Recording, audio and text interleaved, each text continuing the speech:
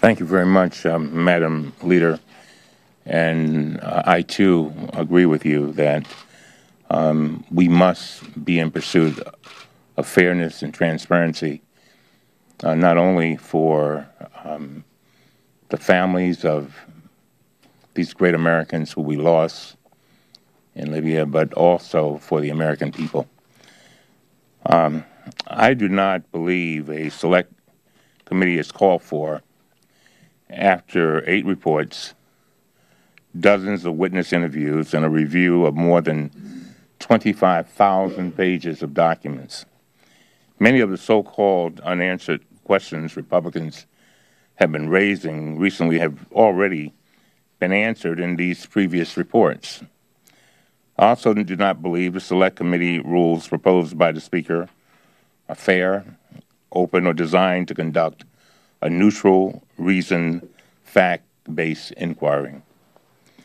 Despite these challenges, I have agreed to participate for two reasons, and I want to thank my colleagues who have also agreed to participate. First, as you know, I've served as the ranking member on the Oversight Committee for the past three years.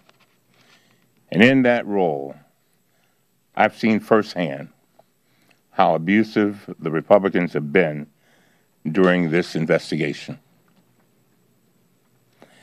They've issued unilateral subpoenas. They've made unsubstantiated accusations with no evidence to back them up. And they have released selective excerpts of documents and transcripts that distort the truth in some instances when they had exculpatory evidence right at hand.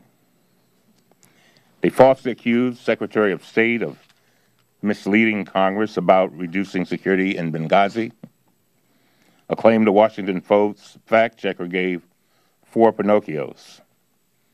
Second, the family members of Ambassador Chris Stevens have pleaded publicly for this not to be politicized.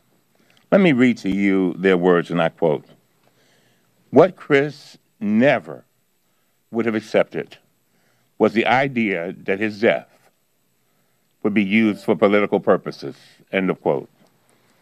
So I feel that uh, I owe it to the families of Ambassador Stevens and the other brave Americans who lost their precious lives to bring some minimal level of balance to this process and to check false claims wherever they may arise. In short, ladies and gentlemen, I believe we need someone in that room to simply defend the truth. Defend the truth.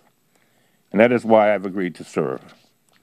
Let me just close by saying that rather than fundraising off of the murders of these four brave Americans, and I must tell you, I find that despicable. I believe the best way to honor these men is to bring their killers to justice and work in a bipartisan way to strengthen security for all U.S. personnel overseas. Thank you.